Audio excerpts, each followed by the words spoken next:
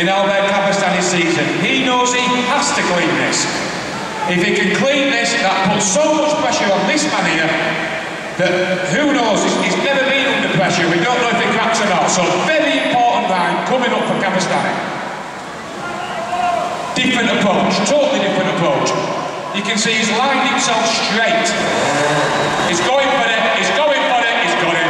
Different line, but nonetheless successful.